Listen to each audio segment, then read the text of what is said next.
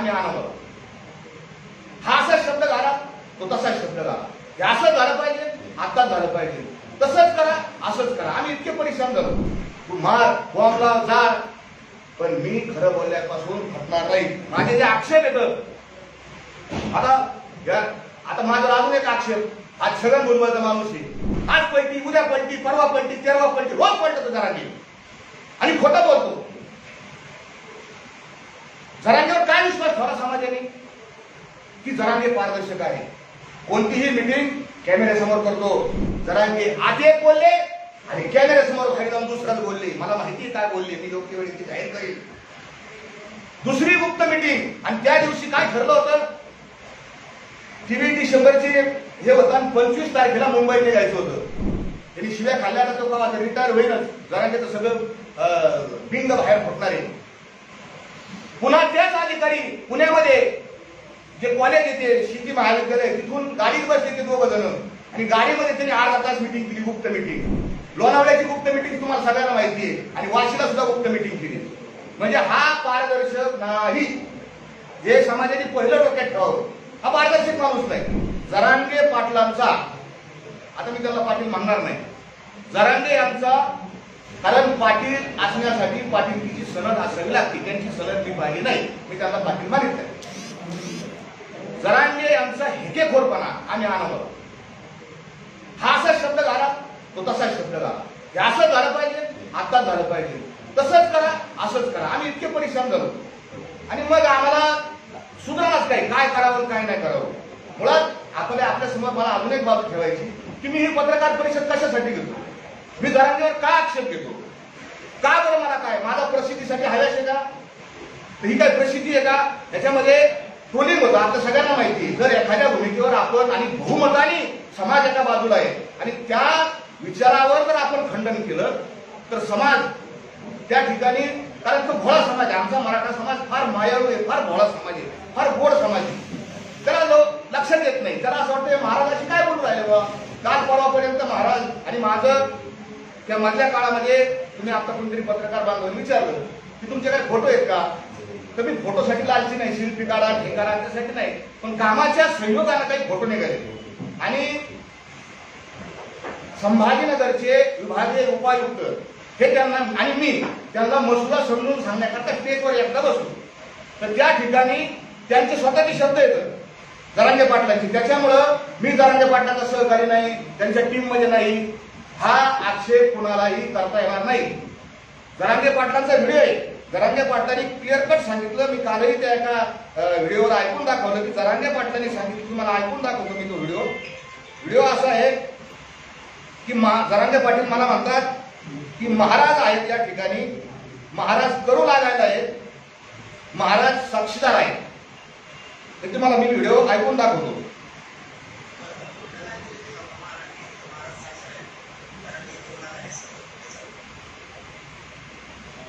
परत आहे.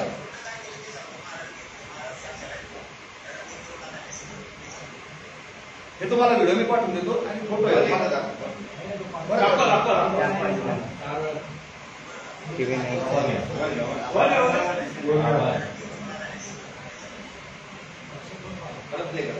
परत एकदा उभा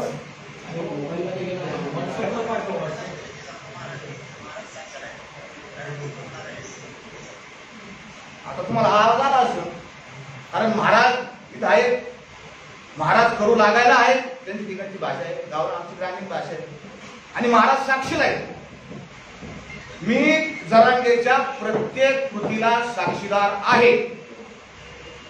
हे जरांगे मनोज जरांगे यांचा आपण आता स्टेटमेंट त्यांचा व्हिडिओ चॅनलवर उपलब्ध आहे. म्हणजे कोणी असं म्हणणार नाही की हा माणूस कोणतरी आला आणि इथं आला आणि बसला. मग समाजामध्ये दुसरा प्रश्न असा तयार होतो आक्षेप माझ्यावर असा येतो की हा माणूस प्रसिद्धीसाठी करतो का? तर बिलकुल नाही. आम्हाला कायम हार आमच्या गळ्यामध्ये येतं. आम्हाला तुकोबऱ्याने भरपूर दिलेलं आहे भरपूर आई वडिलांनी तुकोबऱ्याने आम्हाला भरपूर दिलं. प्रसिद्धीचा हव्यास नाही. पैशाचा हव्यास नाही. माझ्या परिसरामध्ये बऱ्याच लोकांनी माझ्या टीका केली की हे पाकिट घेऊन सरकारचं पाकिट घेऊन खाले असते तर बिलकुल नाही. माझ्या परिसरात विचारा मी कीर्तनाचे पैसे घेत नाही उलट घेतो. अजून माझ्यावर काही वेगवेगळ्या प्रकारचे आक्षेप त्या ठिकाणी त्यांनी नोंदवले त्याचं पुढे मी निराकरण करेन. पण तुम्ही असं म्हणता की तुम्हाला आत्ताच का झालं तुम्हाला जरांगी हे खोर होता हे तुम्हाला माहिती होतं. तर तुम्ही आत्ताच का बोलले? मी आत्ता बोललो नाही मी साधारण तीन दिवसापूर्वी. माझ्या मनातली जी खतखत आहे ती एका छोट्याशा युट्यूबच्या चॅनलवर टाकली आणि जवळपास महाराष्ट्रामध्ये कोट्यावधी लोकांनी अनेक पोर्टलवरती गेली. आणि कोटी कोटी लोकांच्या पुढे ती लोकांनी पाहिली. मला हजारो फोन आले दोन प्रकारचे फोन आले. समर्थनाचे फोन आले आणि शिव्या शाप देणारे दोन्ही फोन आले. जीव घेणारे तुला गोळ्या घालू तुला मारून टाकू मारला का असं तसं अशा प्रकारचे फोन आले. पण मी त्याला उत्तर दिलं माझा धर्म सत्य सांगणं हा माझा धर्म आहे. तुका म्हणे बरा सत्याचा साया असं. नवनिता असं नाही पुन्हा. तुमच्या बाजूला बहुमत जरी असलं किती लोक तुमच्या बाजूला असले आणि मी जर एकटा असेल तरी मी सत्य सांगणार. गॅलेलिओ पाचशे वर्षापूर्वी एकटाच म्हणत होता पृथ्वी बोले. आणि सगळं जग आणि सगळे धर्मग्रंथ म्हणत होते पृथ्वी कशी आहे? सपाट. आहे कोण खरं ठरलं? काळ याचं उत्तर देईन. भारस्कर महाराज बरोबर आहे की जरांगे बरोबर आहे. आणि सगळ्यात जास्त जसं एखाद्याचे शंभर अपराध भरतात. आमच्या भगवान श्रीकृष्णाने सांगितलं शिशुपालाचे शंभर अपराध घातलं त्याला मारतो. तसं या जन- शंभर अपराध भरले. आणि शंभरावा अपराध कोणता आहे? तर ह्या जरांगीने माझ्या जगद्गुरु तुकोबारायाचा अपमान केला. आणि तो मी कधीच सहन करू शकत नाही. मी कशासाठी गेलो तिथे स्टेजवर स्टेजवर करून त्या जरांग्यांना म्हणलो सगळे लोक म्हणत होते पाटील पाणी प्या पाणी प्या पाणी प्या जरांगे पाटील पाणी प्या. अशा पद्धतीने घोषणा झालं एक लहान लेकरू गेलं हातात बाटली दिली जरांगे त्यांचं ऐकलं नाही. आणि शेवटी मी म्हणलं बाबा मी देहूवरून आलो ते काय सरकार नाही. मी नेहमी या सरकारच्या विरोधात भूमिका मांडत आलेलो आहे. मी देऊन आलो आपण घरात भर पाणी प्या. तर जरांगे तुम्ही हे सगळं व्यवस्थित दाखवलं भर याच्यात ते नेमके दोघं कोण? जरांगेला समजून सांगितलं दोघे कोण? आणि मी जरांगेंना सांगितलं पाणी प्या. जरांगे विचार करतायत. याच्या हातून पाणी पिऊ का नको? काय विचार करतायत?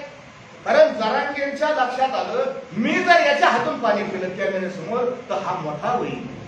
हा कोणतरी मोठा होईल. आणि हा अहंगंड हा श्रेष्ठत्वतेचा भाव खोट्या श्रेष्ठतेचा भाव त्याच्या मनात आला. आणि जरांगेनी मला काय म्हणले? मला मला काय मी लय लहान माणूस आहे. माझा किती आम्हाला हाकलून द्या. मला माझ्या आत्मा मान अपमान गोळे अवघे गुंडोनी ठेवावे. तुकोबर आहे आम्हाला मान आणि अपमानाची काय नाही. मी तर फार शुल्लक माणूस आहे. पण हा मी याला मी घेऊन आलो. तू का म्हणे माझं धाडे गेले रोपा तू पाणी प्या तुम्ही पाणी प्या. मला लय ते मला सांगू संतन फिरतन मला सारं कळतं. ज्यावेळेस तो संतन फिरतन तुकाराम महाराजांचा एकेरीवर उच्चार केला. मी म्हणलं जरांगे तुझे शंभर अपराध भरले मी आता मला झोपच नाही लागली. तुम्हाला अजून मी पुढे काही आता एकदम नाही पुढे काही गौप्य स्फोट करणार हे जरांगेची. आजच्या त्यात नाही करणार. आणि मग मी पहिला व्हिडिओ बनवला दुसरा व्हिडिओ बनवला मराठ्यांना कसं बर्बाद या जरांगेने केलंय. दोन्ही व्हिडिओ एका माध्यमाने ते एका आपल्या एका चॅनलच्या माध्यमातूनच ते सत्य उघडकीला आलं. एका पत्रकार बांधवांनी ज्यांनी ज्यांच्या ज्या मराठ्यांची घरं जरांग्यांनी बर्बाद केली उघड्यावर आणली उद्ध्वस्त केली त्यांचे मुलाखती एका चॅनलने घेतलेल्या आता फक्त असं भांडण असं आहे की समाज फार लवकर विसरतो तुकोबाराने त्याच्यामुळे सांगितलं विसरली तयार थोडं झाली आणि खूप नुकसान झालं. हा जरांगे आणि म्हणून माझा वाद सुरू झाला. दुसरा माझा आक्षेप आहे या जरांगेला जरांगे काय आक्षेप आहे माझा? माझा काय भावबंद नाही माझं काय नुकसान केलेलं नाही तरी काही नाही. आक्षेप का? की याला शेजारी खुसमसलेले लोक लागतील. हानी हानी करणारे लोक लागतील. जरांगे मला इकडे पूर्व दिशा इकडे पूर्व दिशा असे लोक लागतील. आणि आमच्या कीर्तनकारांनी याच्यात कळस केला. कीर्तन हे परिवर्तनाचं साधन आहे. कीर्ती मानवाची गाऊ नये असे तुकोबारांनी सांगितलं. आणि आमचे लाळ खोटे कीर्तनकार लाज वाटायला पाहिजे असे कीर्तनकार की अंतरावरील सराटीत जातात आणि तिथं जाऊन म्हणतात आता देहू आळंदीला जायची गरज नाही. अंतरावरी सराटी हेच आपलं देहू आणि हीच आपली आळंदी. इथं इथं हे पद्धत आहे. एका महाराजांनी अभंग घेतला कीर्तनासाठी. ह्याची दान दे ना देवा तुझा विसर न व्हावा या जरांगेच्या आंदोलनासाठी त्या कीर्तनकारांनी नालायक कीर्तनकारांनी तुकोबऱ्याचा अभंग बदलून टाकला. याची दान देगा देवा आणि मराठ्याला आरक्षण मिळावा. आणि आरक्षण मिळवण्यासाठी आम्ही जेलमध्ये गेलो आंदोलन केले याचिका केल्यात पैसे घातले दोन हजार सहा पासून आम्ही भांडतो. पण आम्ही कधीच असं नाही म्हणलं की तुकोबारा यांच्या अभंगात आम्ही कधी बदल केलेला नाही. तुकोबारा यांचा अभंग जसं बायबलमध्ये बदल करता येत नाही कुराण साहेबमध्ये बदल करता येत नाही गीतेत बदल करता येत नाही. तसा ह्या महाराजांना गीतेमध्ये बदल करण्याचा काय- गाठेमध्ये बदल करण्याचा काय अधिकार? हा आक्षेप. असे एक एक एक एक खूप तुमच्या जगाचे अहो अहंकार किती आहे? का बोलतो मी तुम्हाला? माझी तळमळ माझी कळत असेल तुम्हाला पोटाची तळमळ. याची एवढी एवढी पोरगी एका जगावर मुलाखत गेली काय म्हणली? आमचा माझे पप्पा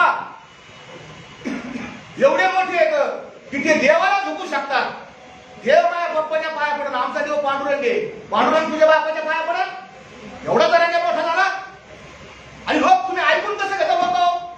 अरे मराठी आरक्षण मिळावा याच्यासाठी आपण काय लागत ते करू. सरकारला अंगावर घेऊन काही करू. पण देवाचा काय संबंध? तुकोबाराच्या भंगाचा काय संबंध? हे का कसं काय? मला अनेकांचे फोन आले ती बारकी पोरगी आहे. अरे बारकी पोरगी आहे मग. त्यावेळेस लग्नाच्या सोयरिकी होतात? का घरला बघायला ते? आईबाप कसे येत जसे आईबापाचे संस्कार तसे ते लेखनाचे संस्कार असतील एवढं एवढं लेखू त्याची इतक्या अहंकाराची भाषा असत ते बापाची किती अहंकाराची भाषा आहे? हा मनुष्य मराठा समाजाचं नुकसान करणारा आहे. मराठा समाजाचं वाटोळ करणारा हा माणूस मला हा अनुभव आला. एखादा एखादी गाडी चाललेली आहे. आणि गाडीचा ड्रायव्हर पेलेला आहे प्रवासी बसलेले आहेत. आणि ते मला कळालं. माझं काम काय? पहिलं उतरून घ्यायचं. आणि लोकांना सांगायचं बाबा खाली उतरा गाडी. ड्रायव्हर पेलेला आहे खाली उतरा तर गाडी खड्ड्यात जाईल दरीत जाईल मारताना तुम्ही. हे माझं सांगणं काम आहे. म्हणून इथं बसलोय. गाडीचा ड्रायव्हर पेलेला आहे. गाडी खड्ड्यात जाणार आहे. माझं सांगायचं काम आहे मी सत्य सांगणार. मला खूप धमक्या आल्या. गोळ्या घाला मारा सगळ्या रेकॉर्ड येतात. तू मार बॉम्बला जा पण मी खरं बोलल्यापासून हटणार नाही. माझे जे आक्षेप येत आता आता माझा अजून एक आक्षेप. हा छगन भुजबळचा माणूस आहे. छगन भुजबळचा माणूस. हा सरकारचा माणूस आहे. हा मोठा आक्षेप आता सध्या हा फुटला. फुटला. मी ना छगन भुजबळचा माणूस आहे ना या सरकारचा माणूस आहे. मी इतक्या टोकाची टीका भाजपवर केलेली ह्या आंदोलनात. की समाज माध्यमावर उपलब्ध आहे माझ्या मोबाईलमध्ये सुद्धा उपलब्ध येतं फडणवीस यांना मी काय म्हणलो? भुजबळांना मी काय म्हणलो? भयानक टीका मी केलेली आहे. मला सगळे लोक म्हणायचे "हो महाराज आरक्षण म्हणजे टीका ना करू इतकी. या पद्धतीने मी टीका केलेली आहे. ज्यावेळेस भुजबळ आंबडच्या सभेमध्ये आमच्या नगर शहराजवळ शिर्डी नावाचं गाव आहे. तिथली एक महिला सरपंच आहे. आणि त्या सर त्या महिला सरपंच बाईने जरांगे यांच्याविषयी एका फेसबुक या व्हॉट्सअपच्या ग्रुपवर अतिशय घाणेरड्या शब्दात टीका केली. त्यावेळेस त्या महिलेवर आम्ही गुन्हा दाखल करायला गेलो. आणि भुजबळ साहेब त्यावेळेस बोलले त्या आंबडच्या सभेत तर भुजबळ साहेबांचा निषेध आम्ही त्या गावात सभा घेऊन व्यक्त केलेला आहे. आणि तो व्हिडिओ माझ्याकडे उभा आहे. मला आपण भुजबळांच्या आणि जसं जरांगे चुकले मी जरांगेच्या विरोधात बोललो. भुजबळ चुकले भुजबळांच्या विरोधात बोललो. आणि उद्याही भुजबळ जर चुकले. तरी मी भुजबळांच्या विरोधात बोलणार आहे. भुजबळ आमचे मित्र नाहीत. काहीतरी कारण काढून मला त्यांच्या भुजबळाचं काही घेणं नाही त्यांच्या पाठवून मी कसं हात ठेवू विधानसभेत ते बोलले अं, ते भंडारा डोंगराचे अजय महाराज बारसकर आहेत आणि त्यांनी हे दरांजे हे जे पोर आहेत असं त्यांना बोलून नाही दिलं. त्यांनी माझं नाव घेतलं तीनदा नाव घेतलं. मी म्हणलो त्यांना माझं नाव घ्या माझा काही संबंध कोणी लाख कोटी लोकांनी व्हिडिओ पाहिला? कोणी काही बोलू शकतं. हा त्यांचा मी भूतबळाचा माझा काही संबंध नाही आता विषय मुद्द्याचा विषय सांगतो. आरक्षणाच्या बाबतीतला विषय सांगतो. हे झाले त्याचे सगळे भा- आणि त्याचं हे सगळं काय हेच आहे की हा माणूस कसा कसा हे करतो. परंतु आरक्षणाच्या संबंधानं मी त्याला पहिलं सांगतो की आपलं काय ठरलं होतं? पंधरा जानेवारी त्याच्या अजून एक त्याचं वैशिष्ट्य सांगतो. तू सरकारला निवेदनच देत नाही. त्याचं एक निवेदन दाखव मला. किंवा आपण काहीतरी असलं मी तुम्हाला रजा तरी काढायची असेल तरी तुम्ही रजेचा आले देतो प्रतीक संपादक साहेब असा अशी रजा काढायची. हा तुम्ही जरांगेंचं एक पण निवेदन नाही सिंगल वन निवेदन नाही सरकारकडं. पण जरांगेंचं निवेदन कॅमेऱ्यासमोर त्यांनी माझ्याकडे लिहून दिले तो नाकारूच शकत नाही. माझ्याकडे त्याच्या ज्या चार मागण्या आहेत ना त्याच्या अक्षरात लिहिलेल्या आहेत. त्यांनी काय चार मागण्या केल्या? आणि तो कसा पलटतो? आज पलटी उद्या पलटी परवा पलटी तेरवा पलटी रोज पलटतो जरांगे. आणि खोटं बोलतो. जरांगेवर काय विश्वास ठेवला समाजाने? की जरांगे पारदर्शक आहे. कोणतीही मिटिंग कॅमेऱ्यासमोर करतो. मंत्री येऊन द्या घोडा लावतो. त्याला घोडा लाव याला घोडा लाव याला बोल त्याला आमदाराला बोल शिव्या घाल. समाजाने प्रेम केलं. कारण कसं आहे? मराठा समाजाला खरं बोललेलं आवडतं आणि तोंडावर लावलं. आवडतं मराठा समाजाने स्वीकारलं. मी स्वीकारलं. पण जरांगे मी तेवीस डिसेंबरच्या रोजी पहिली गुप्त मिटिंग कन्हैया हॉटेलमध्ये घेतली. आणि त्या मिटिंगचा मी साक्षीदार आहे. त्या बंद खोलीमध्ये आपले चॅनलचे माध्यमाची अशी काच होती. काचेच्या बाहेर कॅमेरे लावले होते. जरांगी आमच्याशी बोलत होते. माझी कॅमेऱ्याकडे पाठ मी तुम्हाला पहिल्यांदा सांगितलं की मी त्या मिटिंगचा प्रतिनिधी आहे. आतला साक्षीदार आहे. जरांगे आधी एक बोलले आणि कॅमेऱ्या समोर खाली जाऊन दुसराच बोलले. मला माहिती काय बोलले. मी योग्य वेळी ती जाहीर करेल दुसरी गुप्त मिटिंग आणि त्या दिवशी काय ठरलं होतं? तेवीस डिसेंबरचे हे होतं आणि पंचवीस तारखेला मुंबईत निघायचं होतं. सगळ्यांच्या साक्षी निघायचं होतं. जरांगीने सभेत काय घोषणा केली वीस जानेवारीला. कुणी कोणाला विचारून वीस तारीख दिली? काय संबंध वीस तारीख द्यायचा? मुंबईला मोर्चा निघाला. आणि हे ड्राफ्ट आम्ही घेऊन गेलो. सरकारचे लोक होते. हा ड्राफ्ट असा वाचून दाखवला. बच्चू कडू आमदार त्यावेळेस होते. आणि त्यांनी अक्षरशः शब्द ना शब्द हा कॅमेऱ्यासमोर ड्राफ्ट वाचून दाखवला. तो माझ्या माहितीप्रमाणे अठरा जानेवारीचा व्हिडिओ आहे. तुम्ही काढून बघा. आणि मग तोच ड्राफ्ट पुढे गेल्यानंतर वाशीला काना मात्रा व्यक्ती उकार न करता स्वीकारला जातानी परत काय झालं? गुप्त मिटिंग करणार नाही. कोणाशी बंद खोलीत बोलणार नाही. मी साक्ष देतो कारण ते म्हणलेले जरांगी. की महाराज साक्षीला येतं. आज जरांगींची साक्ष बाहेर निघणार आहे. रानगंगा गणपती. येथे एका बंगल्यावर पहाटे चार ते सहा या या इतक्या वाजता एका उच्च पदस्थ अधिकारी ज्या अधिकाऱ्या त्यांनी शिव्या दिल्या. आता त्याच्याबरोबर मिटिंग केली. दोन तास मिटिंग केली. तो अधिकारी हुशार त्याला माहिती हा त्यांनी सगळी रेकॉर्डिंग करून ठेवलेली. त्यांनी शिव्या खाल्ल्या तर तो रिटायर होईलच. जरा त्याचं सगळं बिंग बाहेर फुटणार आहे. पुन्हा त्याच अधिकारी पुण्यामध्ये जे कॉलेज येते शेती महाविद्यालय तिथून गाडीत बसले ते दोघं जण. आणि गाडीमध्ये त्यांनी अर्धा तास मिटिंग केली गुप्त मिटिंग लोणावळ्याची गुप्त मिटिंग तुम्हाला सगळ्यांना माहिती आहे. आणि वाशीला सुद्धा गुप्त मिटिंग केली. म्हणजे हा पारदर्शक नाही. हे समाजाने पहिलं डोक्यात ठेवावं. हा पारदर्शक माणूस नाही. दुसरं वाशीच्या मार्केट वाशी मार्केटमध्ये त्या सभा चालू होती. कंटेनर आणला होता आणि त्या कंटेनरच्या वर सभा चालू होती. माझी विनंती आहे लाईव्ह दाखवा लोकांना. त्यांचं लाईव्ह दाखवता आम्हाला की थोडेफार काहीतरी आहे. आम्ही एवढं महत्वाचं सांगतोय हा. तर त्या कंटेनरच्या वर जरा निवड होती तिथं स्पीकरचा प्रॉब्लेम झाला. मी त्यावेळेस त्या जरांगींचा सहकारी नव्हतो. कारण मला हे गुप्त मिटिंगा आणि काहीतरी आतल्या आत शिस्त आहे हे माझ्या लक्षात आलं. मग आम्ही एक आंदोलक म्हणून मी सहभागी होतो. एक आंदोलक माझ्याकडे आंदोलक म्हणून सहभागी झाले. सगळे फोटो वगैरे आहेत. आणि त्या वाशीच्या मार्केटमध्ये मी आंदोलकाने खाली बसलो तिथं. आणि जरांगे पाटील भाषणाला उठले. भाषणाला उठले.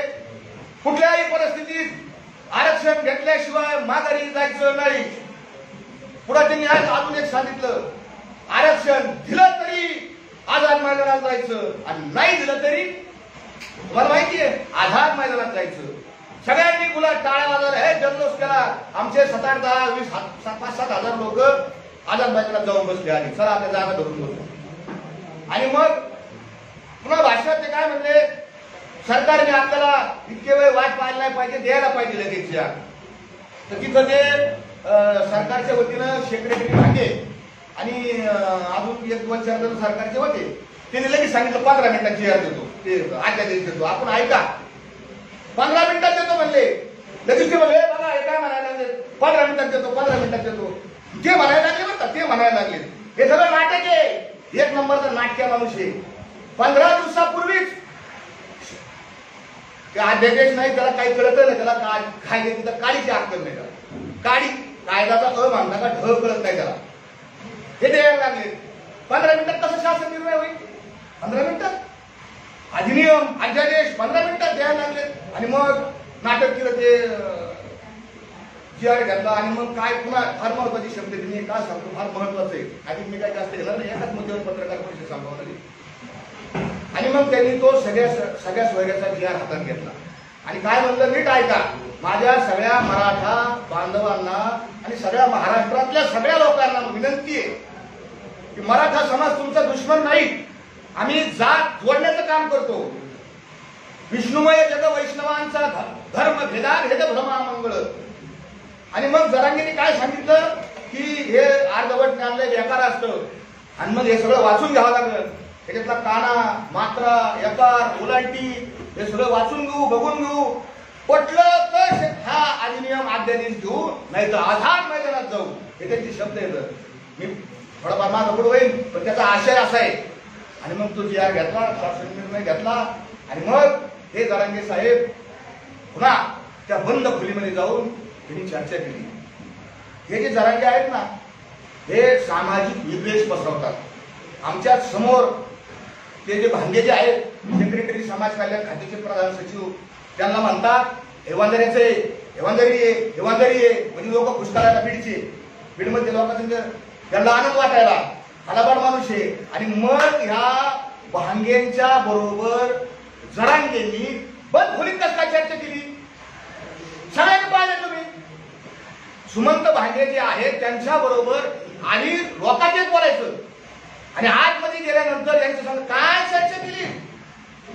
चर्चा केली चर्चा केली चर्चा केली चर्चा केली. भांडे साहेब ती हुशार येतो त्यांनी बी चर्चा रेकॉर्ड केलेली असणार. सरकारला माझी विनंती जर ती आता काही दोन महिने रिटायर व्हायला तर मागा त्यांना ती पडी. काय चर्चा केलेली? आहे. कारण प्रत्येक मिनिट्स तयार करताना त्याला रेकॉर्डिंग लागतात. हुशार आहेत ते अधिकारी. उगतच नाही हो, एवढ्या मोठ्या पदावर जाऊन बसले. आणि मग पहाट तीन वाजता. यांचं काय झालं? आणि मग? आणि पुन्हा काय म्हणले? त्या भाषणामध्ये बघा मी अभ्यासक बोलावणार.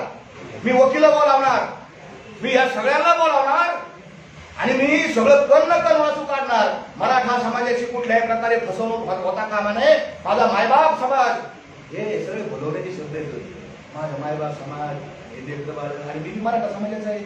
मलाही बोलता येतं. मलाही ऍक्टिंग करता येते अरे आम्ही कीर्तनकार म्हणजे तुम्ही म्हणले ना हसवायला हसू राहायला रडू. काही करतं हा एक नंबरचा कलाकार आहे. याला ऑस्कर पुरस्कार द्यायला पाहिजे. इतका कलाकार आहे हा? या जरांगेनी तिथं काय सांगितलं? माझे वकील बोलावणार. वकील आणा. कोणची वकील जरा मीच जाहीर कर. त्या वाशीच्या बंद खोलीमध्ये कोणचे वकील होते? कोणचे अभ्यासक होते? काय तुम्ही चर्चा केली? काय कायद्याचा खल पाडला? काय किस पाडला? करू शकत नाही. करू शकत नाही महाराज. आणि ते झाल्यानंतर तीन वाजता मंत्री केसरकर आणि ते दुसरे मंत्री कोणते ते लोढा त्यांच्या हाताने तीन वाजता. त्याची मिटिंग का वाजता? बघा तीन वाजता दोन वाजता. तुम्हाला मी काय करेल झोपा बिपा असतात ना तर तरी मी थांबले होते काही घरी होतं तीन वाजता यांनी मिटिंग घेतली आणि सांगितलं आता आपलं आंदोलन संपलं. तरी मी डबल गेम तरी मी विचार करेन आज मैदानात जायचं का नाही? त्याच्या आतली तुम्हाला गेम सांगतो. मला समाजाला सत्य सांगायचं हा काय नेमका काय ब्लॅकमेल करत होता? अध्यादेश मान्य झाला? मान्य झाला अध्यादेशाला अध्यादेशाने काना मात्र वाचला आणि अध्यादेशामध्ये सोळा फेब्रुवारीची तारीख आहे. हा अध्यादेश सोळा आपण वाचा मराठा समाजाला माझे हात जोडून पाया पडून कळकळीची विनंती आहे सोळा तारखेचा त्याच्यात लिहिलेला आहे हा अध्यादेश सोळा तारीख सोळा फेब्रुवारी त्या दिवशी किंवा त्यानंतर अंमलात येईल. असं लिहिलेलं आहे. क्लिअर कट लिहिलेलं आहे. आणि मग यांनी दुसरी आधारातून एक मागणी लावली मी माग जातो. आता अध्यादेश घेतला. विजय झाला फटाकडे वाजले लोकांना आनंद झाला आरक्षण मिळालं आरक्षण मिळालं. पण आता गुलाल घ्यायला आज मैदानावर जायचा हळूच मानला होता. आणि एकासाठी सरकारवर दबाव. काय याला साध्य करायचं होतं? याला एकच गोष्ट साध्य करायची होती की मुख्यमंत्री एकनाथ शिंदे यांनी इथं यावा आणि मला गलाजवर पाणी पाजावा. याच्यासाठी त्याचा सगळा अट्टहास चालू होता. याचसाठी केला होता अट्टहास. जरांगे सगळे पुरावे माझ्याकडे सगळे पुरावे माझे तुझी ही जी चाललेली सगळी खटपट आहे तुझी ही सगळी फक्त श्रेयवाना करताय स्वतःला मोठं म्हणून घेण्याकरताय असंख्य पुरावे देऊ शकतो. आरक्षण आरक्षण आरक्षण मागत. हो तुम्ही सगळे समजदार माणसे आरक्षण कोण मागत. गरीब लोक आरक्षण मागते हा? जे शिकून फुलं मागणारे लोक कुठून आले जे शिकते पायी फुलं. अरे एवढा हे हार. हे काय विषम पन्नास पन्नास मीटरचे हार. कोण देतं पैसे? समाजाच्या आम्हाला कळत नाही का? एक कार्यक्रम घ्यायचा तर सप्ताह करायचा तर आमचे नाकी नऊ येतात सप्ताह करायला. आमचा जरांगेवर हा आक्षेप आहे. तुम्ही तुमचं पारदर्शकपणाचा नियम मोडला. तुम्ही पारदर्शकपणा करणार होते. तुम्ही नेहमी मानता मी समाजाला विचारल्याशिवाय काही करीत नाही. समाज माझा मायबाप आहे. हा मी कायद्याचा अभ्यासक आहे. मी वाचतो मी पाहतो तपासून घेतो असं म्हणतो. मग माझा दुसरा सवाल त्यांना असा आहे की तुम्ही दहा तारखेला आता दहा फेब्रुवारी जे उपोषणाला बसले म्हणजे आता जे उपोषण चालू आहे हे उपोषण करण्याकरता तुम्ही समाजाची मिटिंग घेतली का? आज अशी पुढचं ध्येय धोरण ठरवण्यासाठी समाज गोळा केलाय. आला नाही समाज. थोडे लोक आले. कुटी समाज अंतरावली कुटी समाज त्या- समाज आला होता अंतरावलीमध्ये. त्या चौदा तारखेच्या सगळ्याला लोक यायला दहा वाजता फोटो आहे माझ्याकडं. माझ्याकडे असे बी व्हिडिओ आहेत याचे. तुम्हाला काही लाज आहे का नाही? पन्नास लोक गोळा करताय तुम्हाला कसं काय उपोषण करू मी. हे व्हिडिओ ऑडिओ रेकॉर्डिंग व्हिडिओ नाही ऑडिओ रेकॉर्डिंग त्याचे आहेत. जरांगे माझा दुसरा प्रश्न आहे. मी बोलणारच नाही त्याला जरांगे पाटील म्हणणार नाही. मला मारून टाका. त्याला मारायचं ना? अरे काही त्याला मारलेलं याच्या आधी खरं बोलले म्हणून. काय मला मारलंय का? पण मी खरंच बोलणार. जरांगेला जरांग्या. मी नाही म्हणत. ज्याचं घर उद्ध्वस्त केलं वामन वाळेकर परशुराम फुले रवी पाटील आणि अजून एक जण या चार जणांचं घर बरबादीने केलं. त्याच्या या दोघांच्या वडिलांचे व्हिडिओ येतात. जरांगे भैकितो जरांगे फशितो.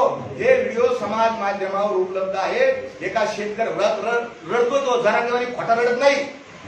तो वामन तुम्ही नीट पहा व्हिडिओ. त्या वामनराव वाळेकरांच्या डोळ्यात जे आलेले येतं ते दुःखाचे अश्रू येतं आणि याचे आश्रू मगरीचे अश्रू येतं नकराश्रू त्याला म्हणतात आमच्याकडं. आणि या जरांग्यांनी मराठ्यांची घरं उद्ध्वस्त केली. दुसरा आक्षेप माझा. अनेक आक्षेप घेण्यासारखे येतं कितीतरी याला अक्कल नाही. नाही तर हा नाटक तरी करतो. अजून एक सांगतो तुम्हाला. आपण सगळे चॅनेलमध्ये येतं आपल्या टीआरपी लागती याला त्याला हा लय हुशार त्याच्यात. आपल्याकडे अटेन्शन कसं होईल? लक्ष कसं घेऊन घेता येईल? त्याला पक्क माहिती त्याला एका हिंदी चॅनेलच्या एका पत्रकाराने प्रश्न विचारला मुंबईला जायच्या आधी. अं, जरांगे पाटील आप मुंबई को अं, कौन से रस्ते से जा रहे? तिथं काय बोलतो? हम डांबरी डांबरीशी जा रहे. अरे तुला एवढी तरी अंक नाही करे हा, तुला काय विचारलं पत्रकारांनी? तुम कौन से रस्ते से जाने वाले हो? जो तो डांबरी डांबरी शहर रस्ते म्हणजे तुम बीड शहर नगर शहर पुन्हा शहर कैसे जा रहे हो? एक तर या हा जो व्हिडिओ परत काढायला वाचा. ऐका. हा म्हणतो पत्रकार विचारतात कोणते रस्ते जाणार हा म्हणतो डांबरीहून जाणार हे उत्तर आहे. एक तर याला अक्कल नाही नाही तर हा लोकांना फसितो याचे दोनच उत्तर आहेत. तिसरं उत्तर नाही. हा प्रचंड शातीर माणूस आहे. कितीतरी शातीर. हे- याला याला माहिती आहे टीआरपी कशी मिळेल? शिव्या दिल्या का? त्या दिवशी आम्ही गेलो छत्रपती शिवाजी महाराजांचा पुतळा पाठिंबा लावलेला आहे. महिलांच्या बद्दल कसं बोलावं? हा? अशीच असती सुंदर आमची आई. शिवाजी महाराजांची संस्कृती ना त्यांनी शिकवलं ना माझं पुतळा आहे ना शिवाजी महाराज तुझ्या काय म्हणतात? शत्रूच्या स्त्रीला सुद्धा आईचा दर्जा शिवाजी महाराजांनी. शिकवण आहे आणि ते मधुकर आगड कमिशनर समोर बसलेले आहेत. हा लोळतोय लोळतोय. आमच्या गाव ग्रामीण भाषेत. लोळतोय. अहो तुमच्या घरी पाहुणे आल्यावर तुम्ही आजारी जरी असलं असं उठून तर बसता ना. इतकी तरी माणूस खेळते ना आपल्या. खरं बोला खरं बोला. हा लोळतोय तिथं असा. आणि ते कमिशनर बिचारे बसले तिथं. आणि ते कमिशनर ते म्हणले काय? आणि काय सुरू केलं? तुझ्या आईचा मी बोलणार नाही पुढं. टिंब टिंब टिंब टिंब काय जरा मी? ही संस्कृती आहे का? तुझ्या आई बाबांनी तुला हे शिकवलं का? ते जे आदर नावाचे जे अधिकारी आहेत ते बी मराठा समाजाचे आहेत ना? हा? शेतकऱ्याच्या घरातले आहेत ना? तिने काहीतरी अभ्यास केला असेल तिने काहीतरी पुस्तकं वाचली असतील हा? ते कष्टातून शे- अधिकारी झाले आणि त्यांना तू शिव्या घालतो. त्याच्याबरोबर माझे जे सहकारी आहेत डॉक्टर संतोष यादव नगरचे यांनी मराठवाड्यावर ज्या नोंदी मिळाल्यात ना आता तीस चाळीस हजार या डॉक्टर संतोष यादवांचे अनंत उपकार येतो गावगाव फिरून या माणसाने एसटीने हिंडला मोटरसायकलीवर हिंडला बीडमध्ये उदगीरमध्ये नांदेडमध्ये मध्ये नांदेडमध्ये त्या सगळ्या संभाजीनगरमध्ये मध्ये मध्ये हा माणूस मोटरसायकलीने हिंडला. आणि हा याला काय म्हणतो? तुम्ही सरकारच्या भाकरी खातात. आम्हाला भाकरी मिळत नाही. हा? आणि नीट गाड्या मला बोलताच आहे ना अहो, आपल्याला बोलता येईल याची भाषा. मला सांगा ना मलाही बंद नाही तुमचं लाईव्ह चालू आहे मला असं कळलंय. हा? तुमची आई असं पुढे बोलता. याला पटतं का? याला शोधतं का? जाम अरे तू सरकारला शिवाय मी ब- बोलणार नाही. शिंद्यांचं पवारांचं ते फडणवीसचं. मला काय घेतलं नाही त्यांचं? मी त्यांच्या कालही विरोधात होतो आजही त्यांच्या विरोधात आहे आणि उद्या त्यांच्या विरोधात राहणार जर ते चुकले तर. आणि त्याच्या आधी जे काँग्रेसचे तर त्यांच्याही मी विरोधात होतो पहिल्यापासून. आपल्याला हे पटतच नाही हे राजकारण लोक आपल्याला पटत नाही. म्हणून हे राजकारण सोडलं या पार लागलोय. खूप बोललाय तो. म्हणजे हे कल्पना शक्तीच्या बाहेर आहे. कोणताही माणूस मी विनंती करतो मला अनेकांचे फोन आले महाराज आणि तुम्ही काय आले तिथे गेलते आणि तुम्ही काय आले गेलते तिथं? आणि यांनी बोलावलं मला माझ्याकडे कोणी घेता? यांनी बोलावलं यांनी मला माफी मागितली. याच्या कोर कमिटीने माफी मागितली. चुकलं महाराज. महाराज तुम्ही या आणि मी गेलेलो नाही. मला आत्मसन्मान आहे. मला सुद्धा मान सन्मान आहे. मी कशाला जाऊ त्याच्या स्टेजवर? जर अपमान करत तर आणखी मी बोलवलं महाराज. आणि ह्या सगळ्या गोष्टी अनेक गोष्टी सांगण्यासारख्या आता. गुप्त मिटिंगमध्ये काय काय होतं? हा? गुप्त मिटिंग हा? गुप्त मिटिंगमध्ये काय चालू होतं? कुठले मुद्दे झाले गुप्त मिटिंगमध्ये त्यात नेमकं अं, काय चर्चा काय होती? आता हे तुम्ही विचारायला पाहिजे त्याला. नाही तुम्ही तिथं तुम्ही सर, उपस्थित तुम्ही होते. होतो ना होतो ना. अशा किती गुप्त मिटिंग झाल्या कुठे कुठे झाल्या? पहिली गुप्त मिटिंग का नाही आली पण झाली ती बी डिसेंबरला कुठे? हा? कुठे? बीडला ते अं, बीड अं, संभाजीनगर रस्त्यावर कन्हैया हॉटेल म्हणून आहे. तिथं पहिली गुप्त मिटिंग झाली. त्या म्हणजे इंटरनेटवर आहे. दुसरी गुप्त मिटिंग त्यांची म्हणजे मला माहिती असलेली बरं का. दुसरी गुप्त मिटिंग झाली रांजणगावला एका बंगल्यामध्ये एमआयडीसी मध्ये जिथे ते मुक्कामाला होते. त्याचा टायमिंग सांगतो. पाठ चार ते सकाळी सहा वाजेपर्यंत. तिसरी गुप्त मिटिंग यांची पुण्याचा जो रस्ता आहे तिथून ती आमचा मोर्चा चालला होता सगळा. त्या त्याच्यामध्ये एक पुण्याचा पाषाण रोड आहे औंधचा परिसर राजभवन आहे. तिथून ते दोघं साहेब मोठे उच्च अधिकारी होते. ते दोघं माझ्या देखत त्यांच्या गाडीत बसले मला म्हणले तुम्ही बसा मी म्हणलं मी नाही बसत मी नाही मोकळा म्हणलं हे शितुडे शेत घ्यायला मला नाही मोकळा आणि ते गेले त्याच्यानंतर ती मिटिंग लोणावळ्यात झाली तुम्हाला सगळ्यांना माहिती आहे. लोणावळ्याला आपण आक्षेप घेतलेले आणि त्याच्यानंतर ती पण मिटिंग वाशीला झालेली आहे. बरं तुम्ही मी आता सर. सांगू सांगू. सुरुवातीपासून जरांगे पाटील यांच्यावरती एक संशय व्यक्त केला जात होता. विरोधक असं म्हणत होते की म्हणजे जरांगे पाटील यांचं बोलवतात मी कोणतरी आहे. कोण आहे ते नक्की आहे ते सांगायचं राहिलं. तुम्ही. दहा तारखेला जरांगे हे उपोषणाला बसले. पहिला आक्षेप आज जसं समाजाला बोलावलं मिटिंग घेऊ पुढची दिशा करू मग दहा तारखेला का नाही बोलावलं? दहा तारखेला जरांगे त्यांची जे जे काही लोक होते आणि तिथं योगा योगाने मी बी होतो तिथं. आणि जरा काय म्हणले? सध्याची चर्चा झाली बरं का आता उपोषणाला बसायचं उपोषणाला बसायचं आणि सगळ्या ग्रामस्थांनी विरोध केला. आता झालं आपण सोळाच्या नंतर बसू ना. आता चालू आपण सोळाच्या नंतर बसू. जरा गेला एक फोन आला. आता तुमचं उत्तर देतो मी. जरा गेला एक फोन आला आणि ते फोन असा चालू असताना त्यांच्या एखाद्या विचारलं काय करतो पाटील? त्यांनी काय नाही पत्रकार बसले रोजचा सकाळचा ते तुमच्या मुंबईमध्ये एक राहू तिथे त्यांचं जसं असं त्यांचा यांचा एक व्यवसाय झालेला आहे. सकाळी सकाळी पत्रकार परिषदेत. झालेला आहे. आणि ते मी पत्रकारांना बाईट देऊन येतो आणि मग आपण चार वाजता मिटिंग घेऊ. आणि मग उपोषण सुरू. हे त्यांचे शब्द आहेत बरं का. दहा तारखेचे. त्या पवित्र मंचकावरती जाऊन बसले. त्यांचा तो मंच फार पवित्र आहे तो असा. तिथे येणारे सगळे असे हुजरे गुलाम असते तिथे असे सगळे त्या पवित्र मंचकावर गेले आणि प्रेस सुरू केली त्यांनी. आणि प्रेस सुरू केल्यानंतर काय म्हणलं? पहिलं वाक्य त्यांचं मी त्या दिवशी की त्या प्रेसमध्ये नीट ऐका. वा ऐका ते. वाक्य असं होतं हे बघा आता मी उपासनाला बसलोय पुढचं बोला. त्यांचे पुढचं बोला पुढचं बोला. लोक म्हणले हा मिटिंग घ्यायची होती आपल्याला आणि मग ठरवा. नाही नाही, आता मी बसलो म्हणले आता पुढचं बोला. आणि तू कोणता बसला विचारून? तुझे सगळे लोक म्हणते पाणी प्या आता तू विचारलंच कोणला? मुदतच जर सोळा तारखेपर्यंत आहे, सोळाला अधिकारी आपल्याला बसायचा. कोणाचा फोन आलता? हा मला प्रश्न आहे. कोणाचा फोन आलता? आणि तिने निजाही करावं मला संशय आहे. की कोणाचा फोन आलता? मला माहीत नाही नेमका कोणाचा तुम्हाला आधीपासून जर माहिती होतं तुम्ही याचा खुलासा. हा, बरोबर बरोबर. येस. इतका वेळ का लागला? बरोबर. त्याचं कारण असं होतं की मी जर काही बोललो मी आता माझ्या जवळच्या सहकार्याला आहे, मला माणूस बरोबर नाही राव लय कोणावर कोण टाकतो याची हेतू याचे उद्देश समजत नाही राव बॉडी लँग्वेज सुद्धा डेंजर आहे म्हणजे. मी माणूस याच्या जरा डेंजर दिसते म्हणजे. मला काय खरं वाटणार होईल लोक काय म्हणायचे? कशाला बोलता महाराज? एवढ्या वर्षांनी समाज एकत्र झाला. आणि आपण जर काही बोललो तर काय होईल? समाजामध्ये अं, विरोधकांना हत्यार मिळेल. विरोधकांना काही ना काही मिळत आणि हे सगळं तुमच्यावर येईल. की तुम्ही समाज फाळला म्हणून आम्ही गप गप गप गप. पण जेव्हा ह्यो म्हणला तुकाराम महाराजाला संतन पंत म्हणलं जरांगे तू संपला. चल तुकाराम महाराजसाठी मी मारायला उद्याच्या इतिहासामध्ये लिहिलं जाईल. मला जरी मी गोळ्या घातल्या. तर लिहिलं जाईल. तुकाराम महाराजांचे जर कुणी एकेरी शब्द बोललं त्यांचा अपमान केला तर ह्यो वारसकर महाराज नावाचा एक सामान्य कीर्तनकार यांनी आपला प्राण दिला. याच्यात मला आनंद आहे याच्यात मला समाधान जरांगी पाटील कोणाच्या सांगण्यावरून काम त्याचे काही पुरावे किंवा तुम्हाला तुम्ही? एवढ्या मिटिंगला उपस्थित होता. काहीतरी जरांगे पाटील हे कोणाच्या सांगण्यावरून काम करतात का? की ते स्वतःहूनच हे सगळं करतात? म्हणजे उपोषण पुढची दिशा किंवा सरकारमधून त्यांना कोणी मदत करते की विरोधक कोणी मदत करते त्यांना? जरांगे दोन गोष्टी. फार हुशार. शातीर त्याला शब्द आहे शातीर हा शातीर माणूस हा फायदा आहे का तो बरोबर आपला फायदा काय? आपला कसा फायदा होईल? आपण कसं पुढे जाऊ? तुम्ही दोन हजार एकवीसचं आंदोलन आहे माझ्याकडे. व्हिडिओ आहे माझ्याकडे. उद्धव ठाकरेला एवढ्या शिव्या दिलेल्या त्या साक्षी पिंपळगावच्या आंदोलनात भयानक शिव्या दिलेल्या. म्हणजे ज्या ज्या वेळेस त्याला कोणी काही सांगत किंवा कोणी काही त्याला काय असणार ना पाग पण त्याच्यामागे मी आरोप घेऊ शकत नाही कारण आम्ही खरं बोलणार आहे. तुम्ही पाहिलं नाही माझ्या डोळ्याने. त्याला कोणी काही दिलं का नाही त्याच्यामुळे मी त्याला बोलू शकत नाही. परंतु हा सारखा बदलतो माझा शंभर टक्के संशय आहे.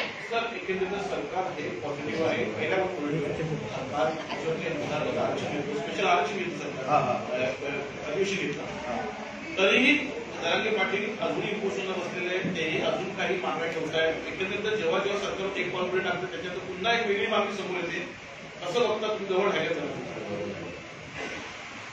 आता जरा यांची जी मागणी सगळ्यात महत्वाची मागणी तुम्ही ऐकलं असेल की एक नंबरची मागणी आहे की हे जे आज सूचना अधिसूचना आहे जरा मी माहिती म्हणजे आद्यदेशीच म्हणते आद्यदेशी आम्हाला मला कळत नाही याला अधिसूचना कळत नाही आधी नियम कळत नाही शासन निर्णय कळत नाही परिपत्र नाही कळत नाही याला. फरक याच्यात आद्यदेश काय असतो अधिनियम काय असतो हा अधिनियम आहे दोन हजार बाराच्या अधिनियमामध्ये हा ही केलेली तरतुदी केलेली वाढ आहे.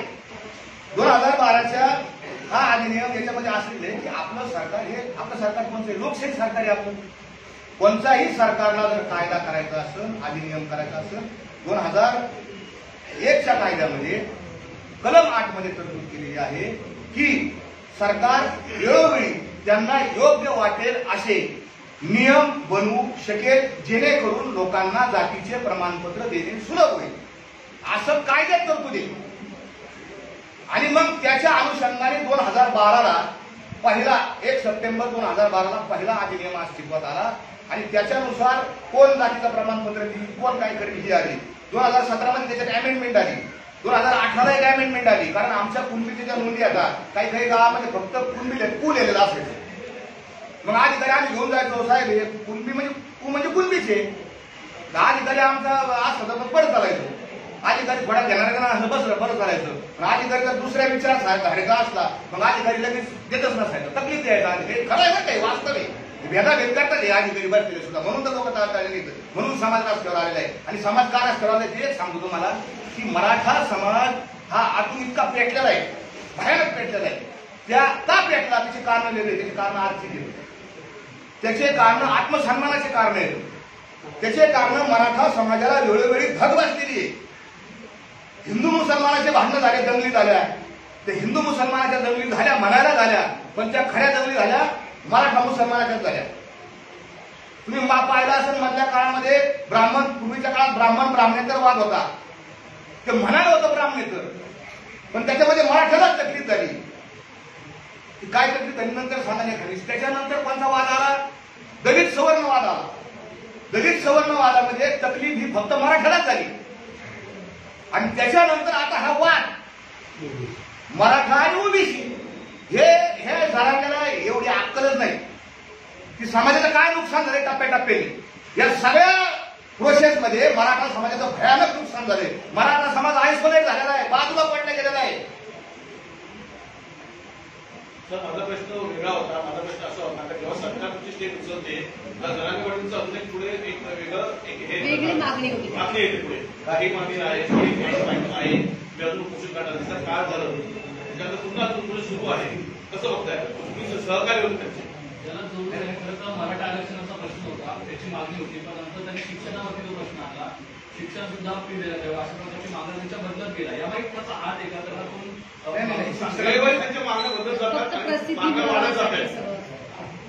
नाही, शिक्षणाचं तुम्हाला सांगतो. शिक्षणाचं काय झालं? मी जरा मी पाटलाला सांगितलं. आंदोलनाची चर्चा आहे. आणि मी आंदोलन आहे, ते आंदोलन आहे. ते काय सरकारचं अधिकार नाही. म्हणून जरा मी पाटील एवढा मोठा समाजवाळा झाला. तर आपल्याला समाजाकडून काही ना काही ना काही अजून वाढीव घेतलं जे सरकारला देता येणं शक्य आहे. पण सरकार काय देऊ शकतं? तर सरकार मराठा समाजाला पैसे म्हणजे निधीच्या याच्यामध्ये देऊ शकतं. तर आपण एक मागणी करू म्हणलं की शिक्षणामध्ये आपल्याला काय मिळवता येईल काही याच्यात. आणि त्यांचाही त्याच्यामध्ये रोल आहे ते काय म्हणत नाही की काय माझं श्रेय त्यांची जी भूमिका होती आणि हे कोणाचा हात नाही तर ते चर्चेतूनच शिक्षणाचं पुढे आलेलं. आता हे भेटत नाही आपल्याला सरसकट भेटत नाही. सरसकट भेटत नाही म्हणून म्हणलं आता घ्यावं शिक्षण शिक्षण कारण कोणाचा प्रश्न शिक्षणाचा आहे. असं कोणाचा काय हात वगैरे काय नाही त्याच्यामध्ये. शिक्षणाच्या बाबतीत